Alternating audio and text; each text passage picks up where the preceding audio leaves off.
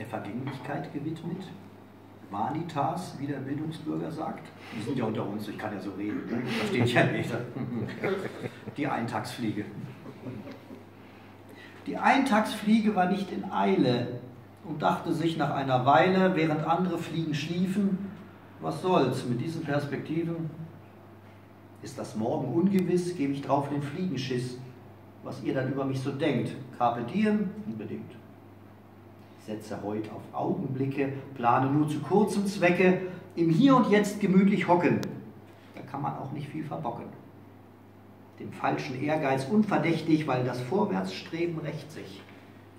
Brachte der Welt ja auch nie Gutes, mal was lassen, so man tut es. Ob nur ein kleines Stück Geschichte, ob große Tiere oder Wichte, war unserer Fliege einerlei. Und ruckzuck war ein Tag vor.